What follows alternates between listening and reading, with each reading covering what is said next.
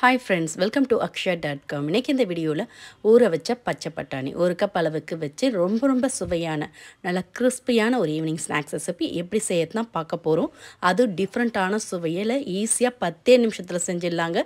வாங்க இப்போ இதை செய்யறதுக்கு ஒரு மிக்சிங் பவுலில் ஒரு கப் அளவுக்கு ரவை. வறுக்காத ரவை தாங்க சேர்த்துருக்கேன். அதே கப்பில் கால் கப் அளவுக்கு அரிசி மாவு.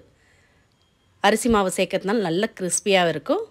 சேர்த்துட்டு இதோட தேவையான அளவு உப்பு சேர்த்து மாவோடு நல்லா கலந்துக்கலாம். கலந்த பிறகு இப்போ இதில் கால் கப் அளவுக்கு தயிர். ஒரு கப் ரவை எடுத்தோம் அதே கப்பில் கால் கப் அளவுக்கு தயிரும். தயிர் எடுத்த கப்பால் ஒரு கப் அளவுக்கு தண்ணியும் சேர்த்துக்கங்க. எக்ஸ்ட்ரா இதுக்கு மேலே தண்ணிலாம் சேர்க்க தேவையில்லை. இப்போ தண்ணீர் சேர்த்து கட்டிகள் இல்லாமல் நல்லா கலந்துக்கலாம். கால் கப் அளவுக்கு தயிர் ஒரு கப் அளவுக்கு தண்ணி சேர்த்து இது மாதிரி நல்லா திக்காக கலந்துக்கலாம். இதுவே கொஞ்சம் லூஸாக இருக்குது ரவை ஊறுச்சுன்னா நல்லா இன்னும் கொஞ்சம் திக்காக சாஃப்டாக ஆகும். இது அப்படியே ஒரு பிளேட் போட்டு மூடி வச்சிடலாங்க. ஒரு பத்து நிமிஷம் அப்படியே ஊறட்டும். உரிச்சுன்னா நல்லா சாஃப்டாகும் ரவை. இப்போ இதோடு சேர்க்குறதுக்கு ஒரு மிக்சர் ஜாரில் ஒரு கப் அளவுக்கு பச்சை பட்டாணி எடுத்திருக்கேன். ஊற வச்ச பச்சை பட்டாணி தான் எடுத்திருக்கேன். ஒரு கப் ரவை சேர்த்தோம். அதே கப்பால் ஒரு கப் அளவுக்கு பட்டாணி சேர்த்துட்டு இதோட தோல் சீவன இஞ்சி துண்டு கொஞ்சம் கூடவே ஒரு ரெண்டு பச்சை மிளகா சேர்த்துட்டு இதோட ஒரு கைப்பிடி அளவுக்கு நல்ல ஃப்ரெஷ்ஷான கொத்தமல்லி இலைகள் அலசிட்டு சேர்த்துக்கங்க. சேர்த்து ஒரு ரெண்டு டேபிள் ஸ்பூன் அளவுக்கு மட்டும் தண்ணி விட்டு இதை நல்லா மைய அரைச்சிக்கலாம். அதிகமாக தண்ணி சேர்த்துற வேண்டாம். ஒரு ரெண்டு டேபிள் ஸ்பூன் அளவுக்கு மட்டும் தண்ணி சேர்த்து இது மாதிரி நல்லா திக்கான பேஸ்ட்டாக நல்ல மைய அரைச்சி எடுத்துக்கலாம். இப்போ அப்படியே இருக்கட்டும். இப்போ நம்ம மூடி வச்ச ரவையை திறந்து பார்த்துக்கலாம். ஒரு பத்து நிமிஷம் கிட்ட உரி நல்லா சாஃப்டாகவும் நல்லா திக்காகவும் ஆயிடுத்து பாருங்கள் இந்த அளவுக்கு திக்காக தான் இருக்கணும். இப்போ இதோட நம்ம வெஜிடபிளாக சேர்த்தோன்னா கரெக்டான பதத்தில் வரும். இப்போ இதில் நம்ம அரைச்சி வச்ச பட்டாணி மல்லி பேஸ்ட்டை சேர்த்துக்கலாம். தண்ணிலாம் சேர்க்க வேண்டாம். மிக்சர் ஜார்லேருந்து இது மாதிரி ஒட்டை வச்சு விட்டுட்டு இதோட ஒரு மீடியம் சைஸ் கேரட்டை துருவி சேர்த்துக்கலாம். கூடவே மீடியம் சைஸ் ஒரு வெங்காயத்தை நல்லா பொடியாக கட் பண்ணி சேர்த்துக்கங்க.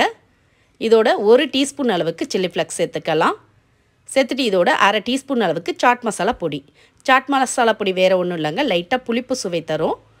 சாட் மசாலா பொடி இருந்ததுன்னா சேர்த்துங்க. இல்லாட்டி பரவாயில்ல.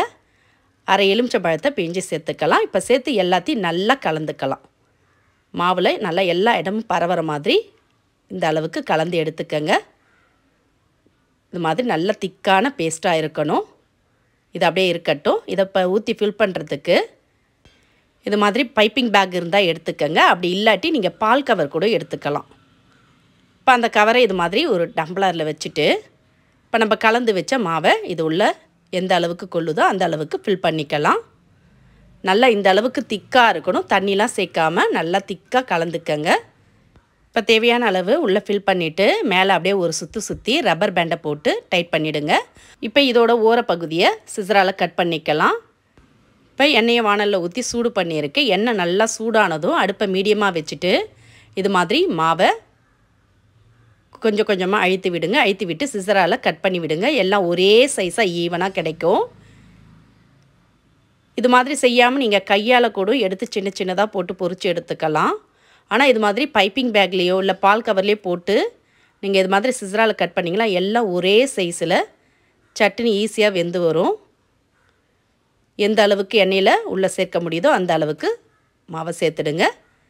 சேர்த்து இது மாதிரி ஈவனாக கலந்துக்கலாம். எல்லா சைடும் ஒரே ஈவனாக வெந்து செவந்து வரணும். நல்லா கலந்து விட்டுக்கங்க. வேகத்துக்கு ரொம்ப நேரம் எடுக்காது. நம்ம சின்ன சின்ன போண்டாவாக போட்டிருக்கோம். அதனால் ரொம்ப சீக்கிரமாகவே வெந்துடும். இது மாதிரி வெந்து நல்லா ஓரளவுக்கு லைட்டாக செவந்ததும் எண்ணெயிலேருந்து வடியை விட்டு எடுத்துடலாம். இந்த மாவில் நம்ம சோடாப்பெல்லாம் எதுவுமே சேர்க்கலைங்க. நீங்கள் விருப்பப்பட்டீங்கன்னா வேணால் ஒரு கால் டீஸ்பூன் சேர்த்து மாவோட கலந்துக்கங்க. சோடா உப்பு சேர்க்காமலே நல்லா கிறிஸ்பியாக இருக்கும் அரிசி மாவு சேர்த்ததுனால. இப்போ ரெண்டாவது பேட்சும் இதே மாதிரி பொரிச்சு எடுத்துகிட்டு வந்துட்டேன். இப்போ இதை பிளேட்டில் மாற்றி சுட சுட சர்வ் பண்ணலாம். இதில் நம்ம பட்டாணி கொத்தமல்லி ஃப்ளேவரோட சாப்பிட ரொம்ப ரொம்ப டிஃப்ரெண்ட்டாக சூப்பராக இருக்கும். கண்டிப்பாக இதே மாதிரி ட்ரை பண்ணி பாருங்கள் இதை அப்படியே சாப்பிட்லாம். இல்லாட்டி நீங்கள் விருப்பப்பட்டீங்கன்னா டொமேட்டோ சாஸ் டொமேட்டோ கெச்சப் கூட தொட்டு சாப்பிட்லாம். இன்னும் சூப்பராக இருக்கும்.